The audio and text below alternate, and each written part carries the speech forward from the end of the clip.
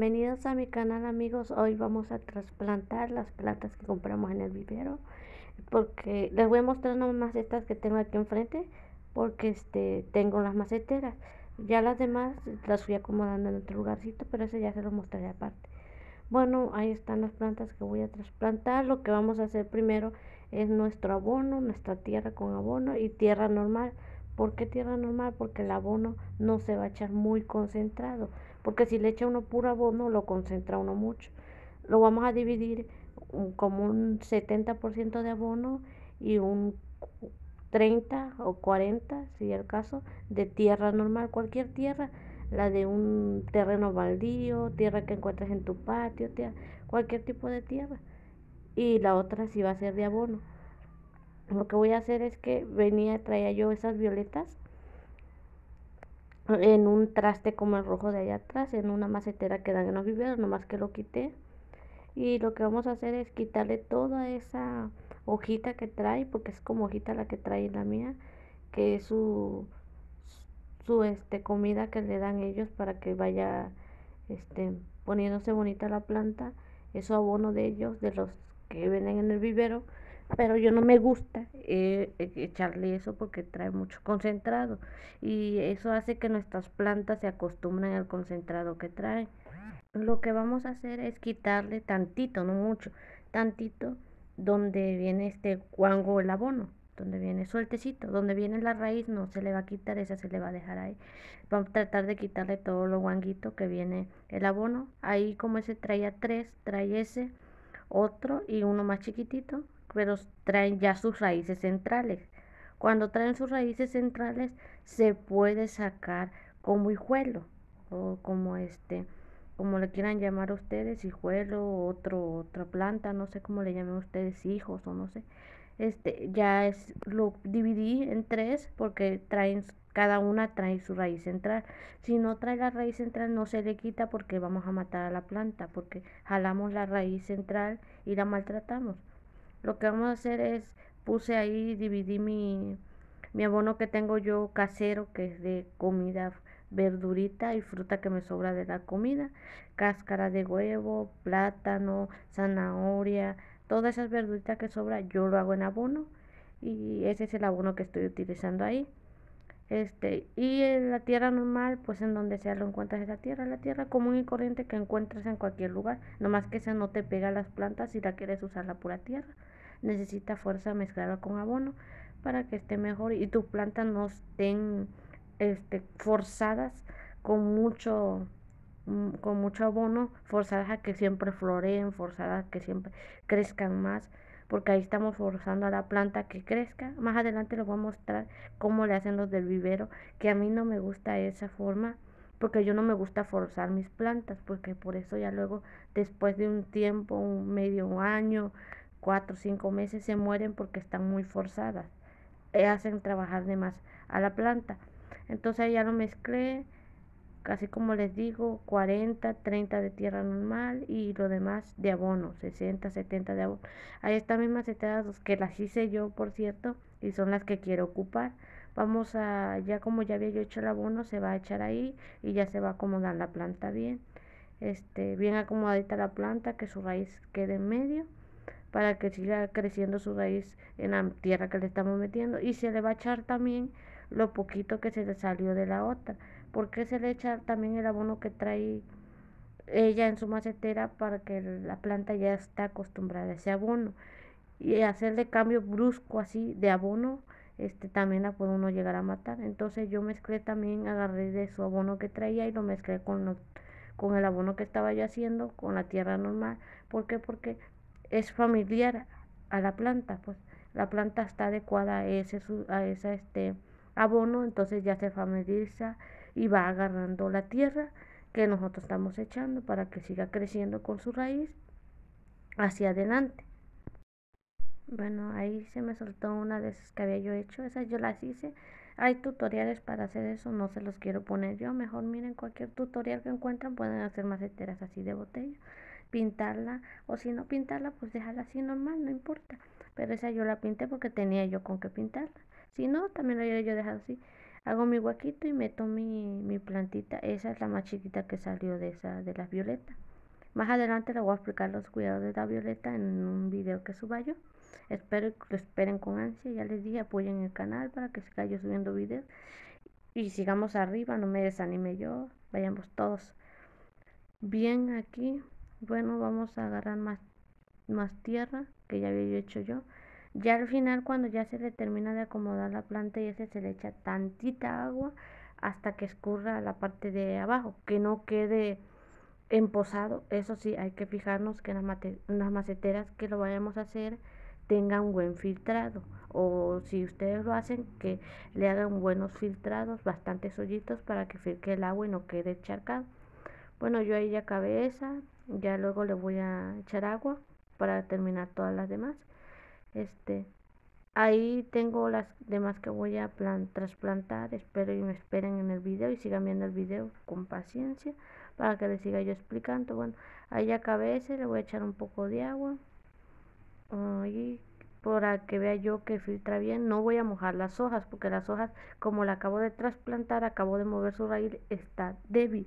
Lo que vamos a hacer nada más echarle en la tierra, a los lados de la tierra, para no mojar mucho la, la planta porque este está muy débil y echarle agua arriba va a provocar que le salga algún tipo de plaga más adelante. Bueno, ahí ya le eché, yo veo que filtra bien, ahí está filtrando bien mi agua. Ya le limpio todo a mi macetera ya para que quede bien y lo voy a yo poner en su lugar. Así lo voy a hacer las demás también. Las otras tres que tengo ahí, esa se va a meter ahí, le voy a echar el abono. igual voy a hacer el siguiente procedimiento. Bueno, aquí ya voy a agarrar yo otra planta. Este es un geranio, parece. A ver, déjenme. Parece que sí es un geranio. Si es un geranio, si es un geranio rojo, ahí se mira mejor, miren. No lo miraba yo bien, que estaba muy lejos. Este, también ese trae abono, pero es un abono que no pesa nada ese abono. ¿Y qué le pasa a ese abono? Cuando la planta termina de consumir todo el abono, la planta empieza a morir porque ya no tiene de dónde alimentarse. y por eso es bueno echarle de tierrita, la otra común y corriente, porque ayuda bastante a nuestra planta. Ahí voy a hacer lo mismo, mitad, un poco más de la mitad de, de este de abono que tengo yo orgánico de mi propia cocina, que sale de mi cocina, y tierra. Y ahí le vamos a quitar un poquito de del abono que trae él y se le va a echar también al, a la misma macetera, al abono que estamos usando. ¿Por qué? Porque la planta ya viene acostumbrada, como les dije anteriormente. Entonces ahí se lo vamos a empezar a quitar todo, vamos a sacar un poquito, no mucho. Ya les dije, no tanto vamos a jalar las raíces sin jalar, es nomás que se caiga solita la pura, el puro este abono que trae. Bueno, ahí ya vieron que trae mucha, mucha raíz. Lo que yo hice es que le quité un poco con, no importa, con la tijera se le quita un poco, no muere la planta, mientras no sea la raíz central ahí le voy a quitar así como les señalé ahí. Miren trae una bolsita con ese sustrato que ese sustrato es lo que hace que florezca la planta esté florecida bien pero no más que crezca. Entonces este eso es malo para la planta porque florece y no crece no se alimenta bien y muere bueno como les quería yo comentando ahí se va a cortar un poquito su raíz. Este miren ese esas cositas blancas que trae el geranio. Es este pues, lo meten para que florezca la planta como les venía yo comentando. Pero ya vieron que no está creciendo está así. Y todas las hojitas de abajo se le están muriendo. ¿por qué? porque como le ponen eso nada más para que florezca y lo vea uno lindo y la compre pero de ahí las hojas se están muriendo y aparte de eso se ve que este no ha crecido nada porque las hojitas se ven muy sucias, demasiado sucias, con polvo, así con polvo se ve. Entonces sí, es, significa que ya tenía tiempo que lo tenían en el vivero donde los voy a comprar. Lo único que hacían era ponerle esas cositas para que este floreciera cada ratito y la viera yo atractiva y la comprara yo. Nomás que para eso lo compré, para arreglarlo. Bueno, aquí ya lo acomodé y ya le echo el abono, sí, el abono a la tierra que yo hago especial, pues que serían 60-70% de abono natural del que tengan, pero que sea abono, y ya el resto es de tierra normal, del patio, de terreno, de lo que tenga, tierra así. Este, aquí ya lo acomodé, ya lo que voy a hacer con esta plantita, le dejé tantito un poquito de ese de sustrato blanco para, para que no se me muera mi planta, porque como ya está acostumbrada, ya vieron cómo se ve de sucia y polvosa, y no le había salido ni una nueva porque no se miraban, no había ninguna hoja nueva, no había hoja nueva, están todas sucias y todas polvosas, no se ve que le esté saliendo, ojalá y así como lo tenga yo ya con estos cuidados que le voy a dar yo aparte, porque es diferentes cuidados porque es, que le da uno en casa a los que están en el vivero este, pero que le empiece a salir más para sacar y reproducir porque me gustó esta. También voy a ir a echar otra vuelta para traerles más plantitas y explicarle cómo se llega a cuidar y cómo hay que reproducirla. Luego les tocaré, le vamos a echar un poco de agua. Ya les dije que no a las hojas, solo a la, al sustrato de abajo. Bueno, aquí es esta planta, ¿cómo es que se llama? Tantito, se llama jazmín de brasileno, Brasilia o brasileno. Eh, así algo así se conoce como jazmín brasileño. Este bueno, esa planta a mí me gustó porque que trae esas florecitas. Vamos a hacer lo mismo en donde lo vamos a meter. Mi, no sería mitad, sino un 70 y un 30% parte de tierra normal y un 70 de abono, igual así. Y lo acomodaría yo ahí. Este sí me impactó demasiado porque ahorita van a ver cómo viene. Bueno, como les venía yo comentando, van a ver cómo viene ahorita esta planta, que por eso está así de bella, de hermosa, porque la tienen a base de ese sustrato. Yo la verdad, muchas, yo he visto que mucha gente que hace videos de planta lo recomienda, pero yo no se las voy a recomendar. Nunca van a ver en este canal que recomiende yo sustrato o vitaminas para plantas o algo así para que esté mejor tu planta. Lo más mejor que les puedo recomendar es abono orgánico de nuestra comida, de nosotros, de animales, hasta ahí. Yo no le voy a recomendar este sustrato porque va a vivir tu planta, va a estar bonita una, dos, tres semanas o meses y ya luego se empieza como a morir porque el sustrato empieza a terminar todo su todo el sustrato empieza a quitarse pues todo lo absorbe la planta entonces ya no le sirve la planta porque ya no puede absorber más. Entonces empieza a morir y a fuerza la planta ya se acostumbra a su sustrato. Miren este sustrato de piedritas a mí no me gusta. No sé cómo lo... le voy a quitar un poco porque sí me impresionó que traía mucho. Yo no me imaginaba que iban a traer mucho. Las otras nada más traían como una raíz amarradito un, trapito y este con un poquito de sustrato. Pero esta sí me impactó por eso estaba bien hermosa porque está producida a la fuerza. Pues en el vivero que esperamos todo lo tienen que producir a la fuerza para que vaya uno y compre la belleza que está saliendo de la planta. Bueno voy a tratar de quitarle lo máximo porque miren todo es ese sustrato. Casi nada trae de abono nada que pueda alimentarse la planta aparte, sino nomás puro sustrato, sustrato ese que trae. Este, a mí no me gusta como les vengo comentando, entonces lo vamos a limpiar todo. Con mucho cuidado debemos tratar nuestras raíces en planta y ya cuando vea yo que le puedo quitar lo máximo que le puedo yo quitar, se lo voy a quitar. Para que vean, ahí le quito un poco, bastante, de hecho casi todo le quito. Y ya lo planto con la tierra y el abono que hemos hecho, producido nosotros mismos. Bueno, todo eso se lo quité, ya no le puedo quitar más por su raíz. Y le eché un poco de la otra cascarita que me sobró del anterior que había yo hecho. Pero es abono natural, o sea, como que es de vaca parece, o de algún animal así.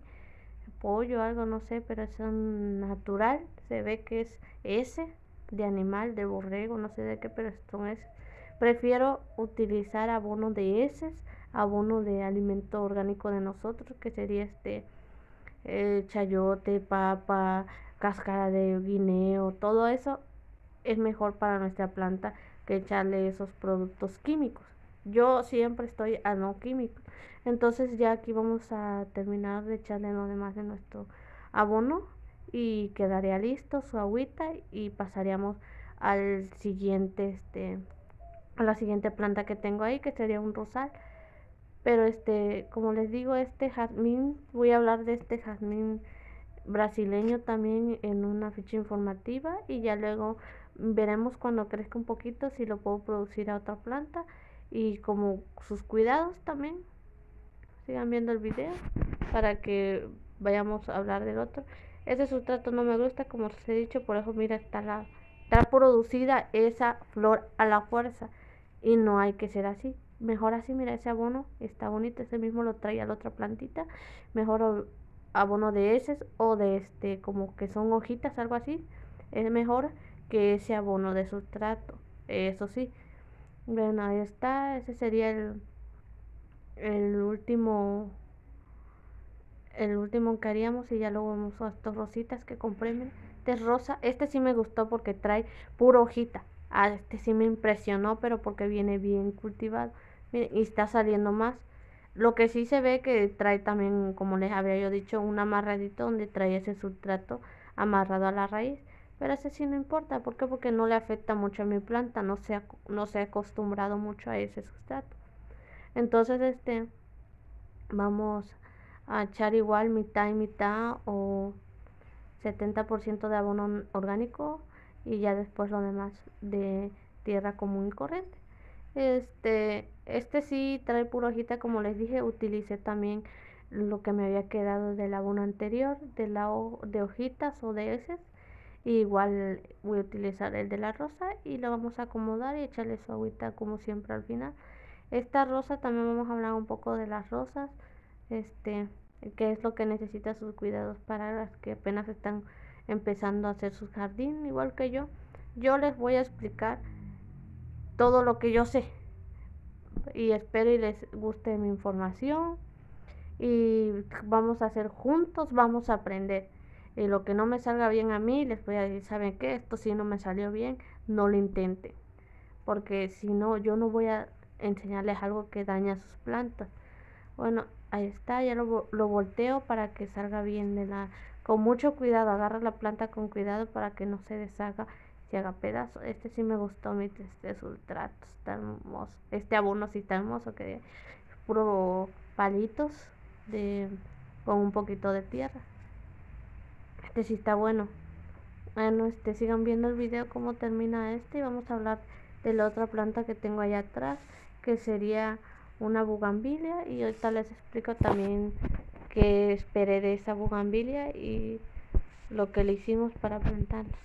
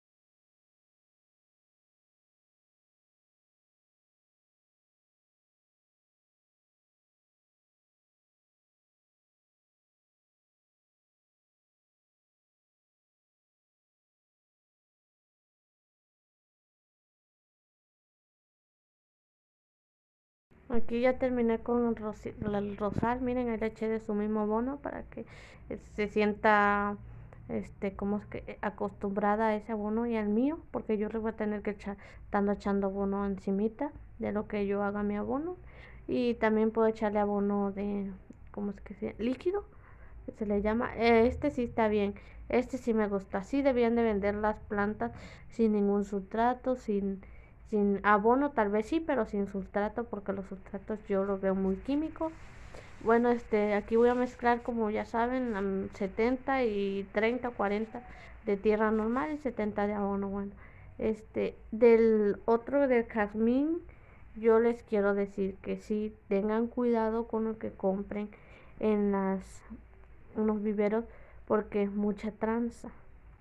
Así como esa planta me la dieron así, si yo voy y la la hubiera yo dejado ahí un tiempo, después de un tiempo se iba a morir porque iba a necesitar, se acostumbran a ese sustrato que traen y va a necesitar ese sustrato. Entonces iba a tener que morir porque yo no, yo no ocupo ese sustrato. Bueno, este, aquí vamos a sacar, miren, este trae tierrita, esto sí me encantó porque viene con pura tierra y tantito de abono, no mucho y así está pegando miren hasta la raíz salió debajo de él porque estas son de raíz grande largas pues. Y miren este sustrato si está bueno como les vengo diciendo. Este se lo voy a echar así sin quitarle nada ni ponerle nada más. Este sí está bonito. Bueno le echaría yo de la que me quedó de la rosa y, y el mío. Y ahorita que termine ya les enseño todos los que trasplanté y cómo me quedaron todas mis plantas. Este sería el último.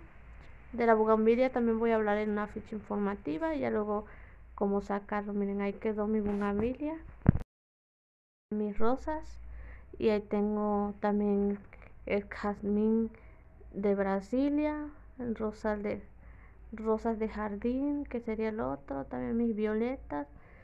Ahí les estoy mostrando cómo quedan mis violetas en, en las maceteras que yo hice quedan muy bonitas, a mí me gustaron. Todo esto es para que todos aprendamos juntos, como les había yo dicho. También tengo eh, las otras que planté también. Esas tengo tres tipos de plantas y las que voy a hablar de las claveliñas, claveliñas, algo así se les dice, claveles. Yo las conozco como claveles, pero esa sí tuvo problemita porque se me estaba queriendo morir. Esa la regalé, mire. Esa lleva tres tipos de plantas, la regalé. Porque si regala uno, se le reproduce uno mejor.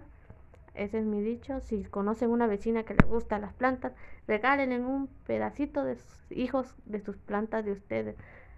Así, así he conseguido la mayoría de mis plantas regaladas.